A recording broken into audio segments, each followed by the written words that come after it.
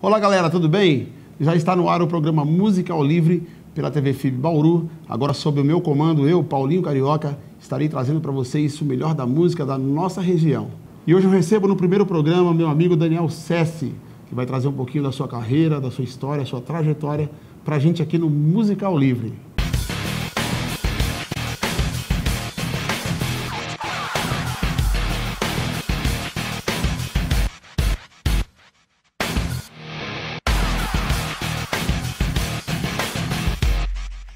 De volta então aqui com a primeira entrevista, esse primeiro programa Musical Livre apresentado por mim. Hoje comigo Daniel Sessi. Tudo bem, Daniel? Tudo bom, tudo em ordem. Legal. Vai falar um pouquinho da sua carreira, é, das suas pretensões aí na, no mundo da música. Vamos começar aqui. Daniel, você tem 24 anos, é isso? 24 anos. 24 anos. Você é de Bauru, me fala aí.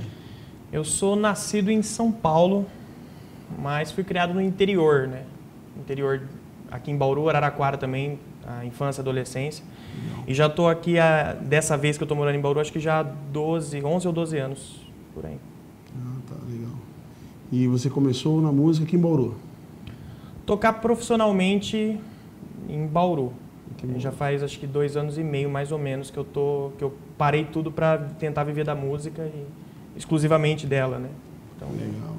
E está conseguindo viver da música em Bauru, na região? Tá, tá. Estamos aí. Estamos, estamos vivendo da música e tá legal, tá bacana. Já consegui conhecer bastante gente bacana, bastante casa legal que eu fui tocar, bastante.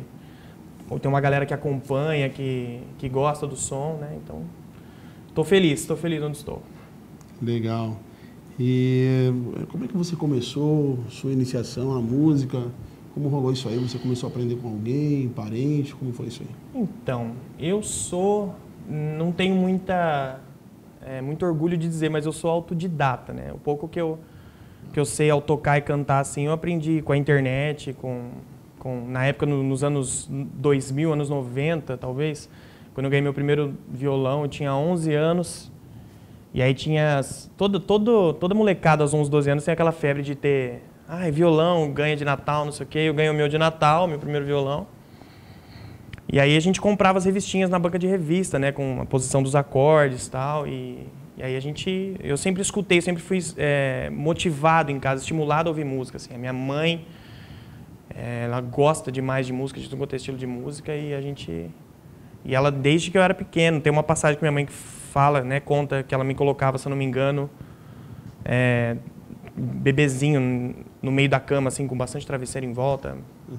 para eu não cair, né? E ficava dançando em volta com música alta tal. E eu já ficava acompanhando, olhando ela.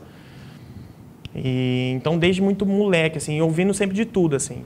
Então, eu fui pegando gosto, né? Pela arte em geral. Eu gosto muito de, de teatro, apesar de não frequentar muito, mas atuação, cinema, tudo, tudo que envolve arte, assim, circo, eu acho... me encanta, assim. Então, e aí minha mãe sempre foi muito afinada, né, para cantar. Minha avó também em casa assim ouvia ela cantar, então acho que isso acabou ajudando. É, sua mãe já me falou sobre isso, que canta e tal, é, até agora eu não vi ainda, estou é, me devendo lá. Minha mãe eu tenho vontade, tenho vontade de colocar ela para cantar uma vez ou outra aí, porque ela é, é bacana assim. Legal. Então isso, acho que isso ajudou, né? É, ajudou, o meu ouvido foi sendo treinado já desde muito cedo, os primeiros anos de vida. Bacana e ela sendo afinada e o ritmo e tal. E foi... Já tinha veio para música, né? Pro, é. pro meio artístico e tal. Aí, apesar de da minha, dentro da minha família ninguém trabalhar com isso, assim, né? Não exclusivamente com isso, só eu tive coragem só de... Mas a, ah, tem músicos na família, né? Primos, os meus tios na época de escola, fanfarra, né? Então tocava instrumento de sopro, instrumento, né? Legal. Caixinha tal. Minha mãe tocava prato. Ah, é? Então todo mundo se, se arriscava a brincar um pouquinho. Assim. Que bacana, que bacana. E quais são as suas influências da música? Quem que você costuma ouvir? A gente estava então, conversando cara. ali fora sobre, sobre o que a gente não ouve, né? Que eu também sou músico. Então a gente estava conversando ali fora do, é, do, que a gente ouve fora dos palcos, né? É, na nossa casa, no nosso dia a dia. O que, que você costuma ouvir? Quais são as suas influências e tal? Então, em relação a... Eu é até um pouco polêmico essa história de, de, de, estilo musical, assim, né? Eu prefiro até às vezes ficar na minha por conta que eu gosto de tudo. Foi o que eu comentei com o Paulinho há pouco. Eu, eu, eu escuto a música Se me agradar e eu achar bacana, eu baixo, eu ouço, eu paro para ouvir e tal. Ultimamente o que eu mais tenho ouvido é música pop internacional, é o que eu mais gosto assim de ouvir. As influências, quando a gente fala de influência, é, na minha cabeça é um pouco se passa muita coisa assim, porque muita coisa me influencia, né? Muita coisa me inspira, mesmo quando eu ouço você tocar, ouço outros músicos de Bauru que eu gosto. Obrigado. É, bacana, bacana. Procurem o show aí do Paulinho pela noite bauruense que é bacana.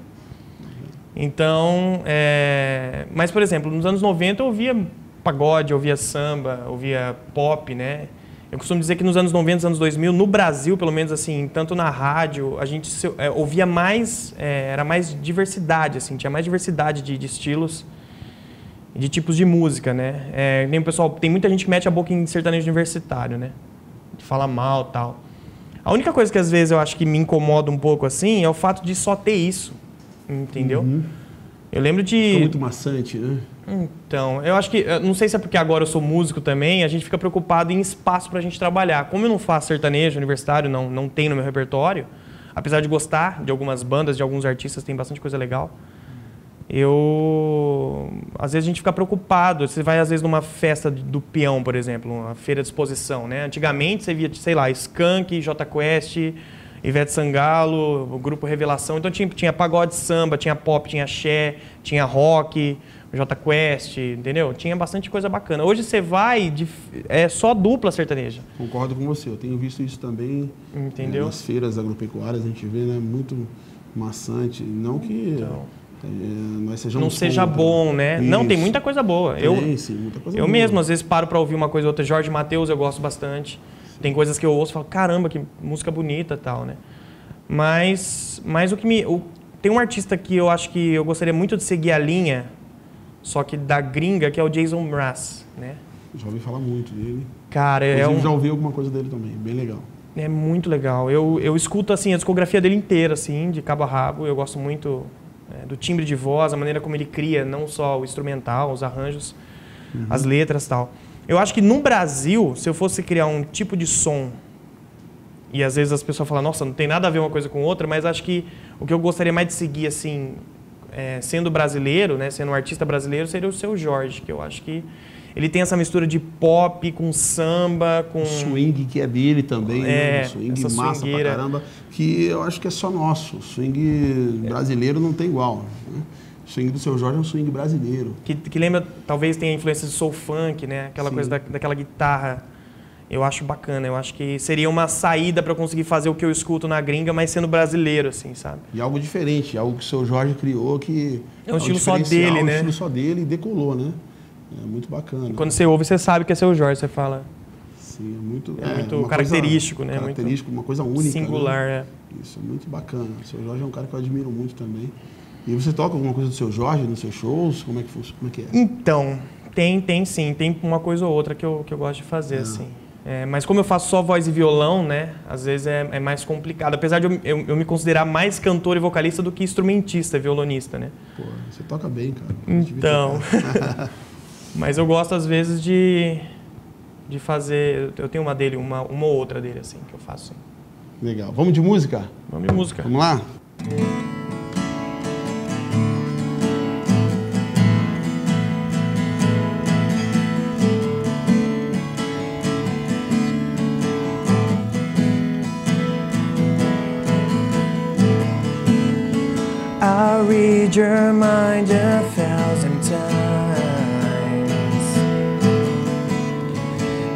Is myself from alibis? Surrender to me softly. You're trying to find a different side of me. You see, this life is nothing but a song we don't know da da da no. Da da da da, da da da da no. Devote myself of compromise selfishly lie give him bad advice. Surrender to me once again. You're trying to find a boy inside a man. You ask me why we should forget our lives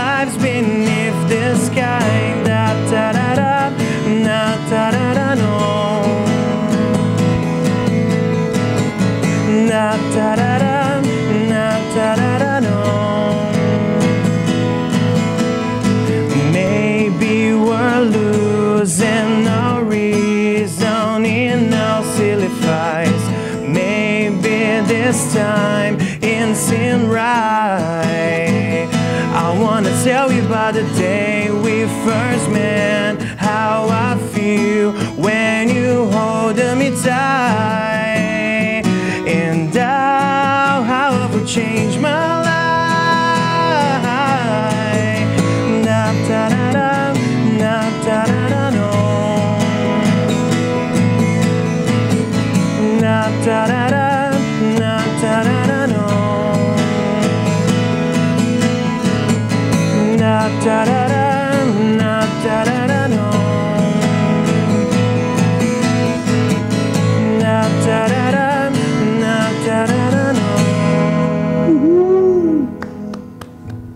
Daniel Sessi. Parabéns, Daniel. Legal, legal. Cara, você com essa voz aí, sempre afinada, um timbre que eu gosto muito, o timbre do Daniel, pra mim é único também. Curto pra caramba seu, seu timbre. A voz de moça. Não, ah, que isso. Já havia falado ah, do teu timbre Legal. para algumas pessoas, pro, pro Lê, nosso batera Lê, um beijo pra você, Lê. Fico feliz, fico Tá feliz. devendo aqui também uma visita pra gente também. E já havia falado pra ele e pra outras pessoas também do seu timbre, acho legal pra caramba. Legal, fico feliz, fico contente. Vindo de músico vale mais. Vale Bacana, mais. bacana. Essa música é do Thiago York, é isso? Thiago York é outro cara que, que eu tenho, que eu gosto bastante, assim, que me serve muito de De influência. influência pra você, você ouve bastante? Eu ouço Thiago? bastante. Eu não conheço, assim, mu- muita coisa como do, do Jason Mraz ou do Ed Sheeran, que são outros... Que é outro artista que eu gosto muito. Mas ele tem bastante coisa, cara. E é outra, é outra linha que eu seguiria, assim, por ser brasileiro. E essa música é dele, quer dizer, ele é brasileiro, se eu não me engano, ele foi criado... Ele é brasileiro, cara. Ele é brasileiro Caramba. e ele foi criado, se eu não me engano, até os 4 ou 7 anos de idade é, na gringa. Então ele foi alfabetizado no inglês e no português, alguma coisa assim, que eu não falar besteira, eu não vou, não vou confirmar nada. Legal, legal. Mas se eu não me engano, foi a primeira, essa música que eu toquei dele foi a primeira que estourou assim, que foi pra novela, tal. E aí ele, ele compõe em português também. E eu, e eu já vi repertório dele fazendo cover na internet e são músicas que eu faço também. Então acho que é bem parecido ali o trabalho. Bacana. É o teu espelho também. Também, também, serve também. Gosto bastante. Legal. E deixa eu te perguntar, já teve alguma história interessante, algum show teu, alguma história estranha? Cara, o que me vem à mente agora, uma vez eu passei muito mal. Eu lembro que eu tinha. Eu tava com a semana. A semana lotada, assim, ainda bem, né? De, de, de, trabalho. de trabalho, assim, para tocar em bastante lugar. O primeiro lugar que eu toquei aqui em Bauru foi ali na quadra 10 da Getúlio Vargas, onde hoje é o Dona Maria, que eu gosto pra caramba, da galera lá Gilson, toda, do Gilson. aí. Todo mundo lá, muito bacana. Eu me sinto muito em casa lá. Então eu lembro que uma vez eu tava tocando lá e o bar tava lotado. A gente reza para que o lugar esteja lotado para bastante gente ouvir a gente, né? Eu lembro que eu acordei no dia, era, eu acordei, sei lá, meio-dia, 10 da manhã, e eu ia tocar na noite, né, à noite. E eu acordei muito mal assim. Com, acho que eu tava com febre, eu não sei que, que trem que me deu que eu fiquei, acordei ruim pra caramba assim. E aí a gente e eu emoção, tentando deve ser emoção isso aí. Talvez, que eu. eu- você sabe que eu, eu suo muito, eu transpiro de. Não por estar calor, mas de, de, de nervoso, assim, quando Verdade, a casa dá. tá lotada. Dá o frio na barriga ainda? Ah, dá, né? Toda. Eu tô com muito frio na barriga, agora, agora, inclusive. Mas então, aí eu, a gente. Legal. Eu tentando ligar pra uma galera, não sei se eu te liguei no dia também, mas pra tentar alguém pra me substituir, pra não deixar o bar sem ninguém, né? Porque acho que era uma sexta, um sábado que a sim. gente esperava uma galera. E aí eu desesperado, ligando pra um, ligando pra outro, e todo mundo trabalhando, assim, né? Ainda bem que tava todo mundo com. A gente torce pelos amigos, né? Mas eu desesperado e até a última hora, assim. uma hora antes do, do, do show, né, de eu tocar, eu ligando e nada. E eu não podia deixar o pessoal na mão, falei, ah, vamos ver o que acontece, né? Vamos ver o que, que rola. E eu fui, cara. Nossa, mas estava péssimo, né? Porque a, sem saúde, a voz não sai a mesma coisa. A voz, não, você não consegue é, impostar a voz direito, né? Não consegue... Não tem a mesma desenvoltura, Não, né? não. Tem. E eu tava péssimo. Eu já tava suando de pingar, assim, nos 15 primeiros minutos, assim. E eu não tava aguentando. E aí eu, eu comecei a pensar, a maquinar. Falei, poxa vida, eu não queria deixar o pessoal na mão, a casa tá lotada. Mas ao mesmo tempo, se eu continuar assim, talvez eu piore. Eu tenho mais datas para fazer. Então acho que melhor eu tentar hoje não fazer, né, ou parar por aqui para cuidar de mim, para amanhã eu estar tá melhor e no outro dia. E foi o que eu fiz, deu 40 minutos de show, eu pedi intervalo para a galera, aí fui falar com o proprietário, falei, Gilson, pelo amor de Deus, cara, eu tô passando mal, peço desculpa, mas não aí. vou conseguir continuar, cara, que eu tava, sei lá, eu nunca desmaiei na vida, né? Não sei se eu ia desmaiar, se é um pouco de exagero, mas sei lá, eu tava, tava, tava, tava ruim. E até porque esse lance de a gente não consegue segurar, né? É, o músico ele não consegue é, esconder é, então, né? a emoção. Né? É, tem... Através da música passa para o público isso aí. Não tem ah, como você passa. controlar isso. Por mais e que você esteja feio, mal, né? fica feio, um negócio forçado, né? Você tá ali para a pessoa paga às vezes o cover, você, você tá ali para caprichar, né? Você se preocupa com o som, às vezes até com a roupa que você tá vestido Sim. e vai fazer um trabalho. E aí eu e é natural também. Aí eu fui, depois pedi desculpa, eu, a galera inteira me aplaudiu. o bar inteiro, é, tipo, com dó, eu acho, sabe assim? Mas, mas. Legal. Vamos de música? Vamos de música. Vamos lá? Vamos lá. Daniel Sessi.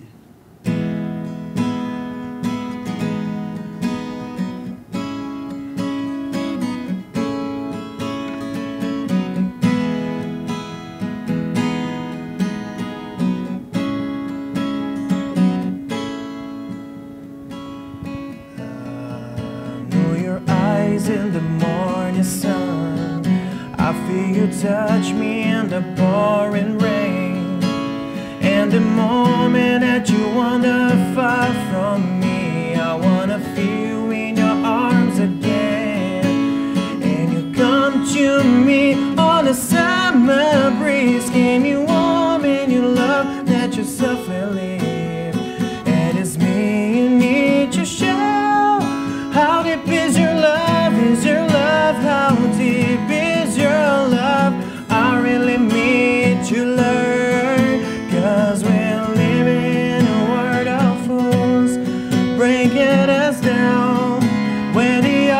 passion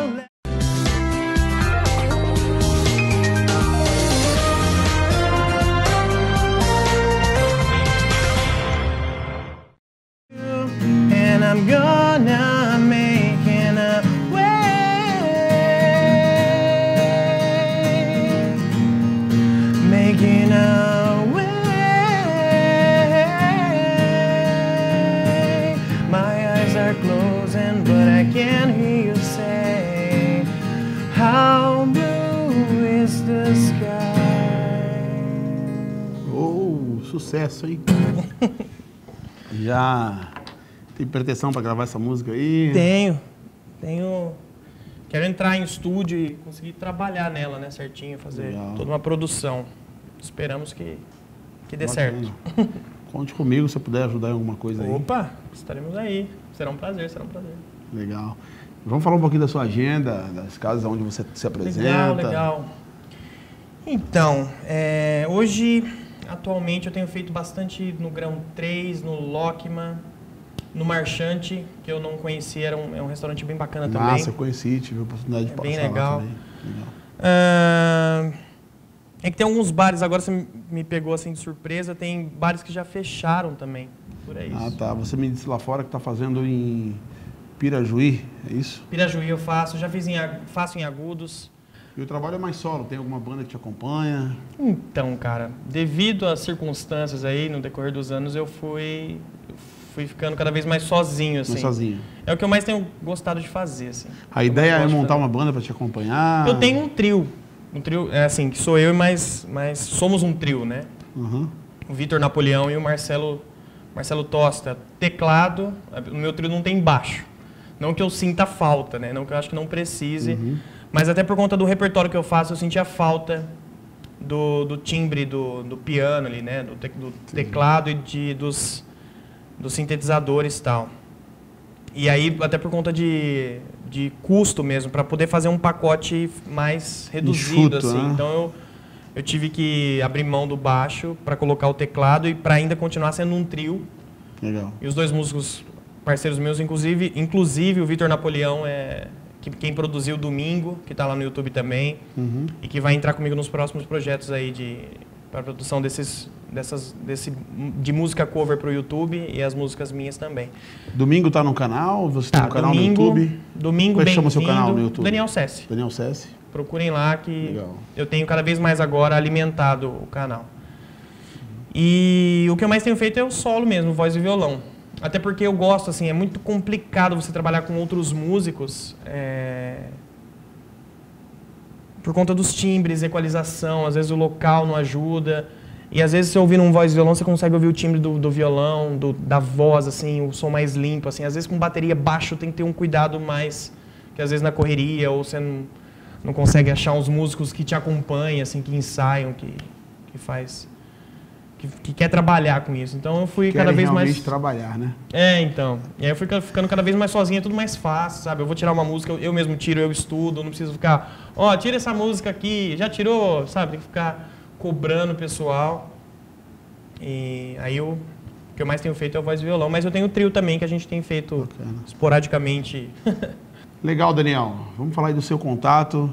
É, você está no Facebook, está no YouTube, me diga aí. Estamos aí nas redes sociais. Eu acho que é a forma mais fácil Sim. de encontrar meu trabalho e acompanhar aí onde eu onde eu estiver tocando, né? Então Facebook, Twitter, tem o Sound, SoundCloud também, que é nome chato, né, de falar. Chatinho. Mas estamos lá. Tem lá é bacana porque é um site onde eu consigo hospedar as músicas que eu gravo em casa, os covers e tal. Tem também é, o YouTube, que acho que é onde eu tô quero cada vez mais estar presente lá. Então, Daniel Cessi, C-E-C-C-I. É Poxa vida, isso aí é um detalhe que... É um nome meio xarope. É, a galera tem que se apegar. C-E-C-C-I. C-E-C-C-I, Cessi. Mas procurem lá, será um prazer recebê-los nas redes sociais também. Diferenciado, né? Cessi. É, né? o Instagram também, arroba Cessi Daniel, lá tá ao contrário só. Mas estamos por lá também. Legal, esses são os contatos aí do Daniel Cessi. Muito obrigado, Daniel Cessi pela presença no meu primeiro programa aqui. É um prazer, uma honra prazer te receber. Meu, prazer meu. Agradecer legal. a galera da, da, da TV FIB e você pelo convite. Fiquei bastante contente, lisonjeado. Legal. Valeu. Dizer que eu sou bastante fã do seu trabalho também, curto pra caramba. Fico feliz, fico bastante feliz. Bacana. Desde já gostaria de agradecer as empresas que me apoiam, a Beauty Hair Center, o Visu Store, Just Wear, Casa do Biscoito e Planeta das Essências, meu brother Bebeto. Muito obrigado pelo apoio. E agora vamos ouvir a última canção, meu amigo Daniel Sessi apresentando pra gente. Muito obrigado, Daniel. Manda aí. Trees of green and red roses chewing I watch them bloom for me and you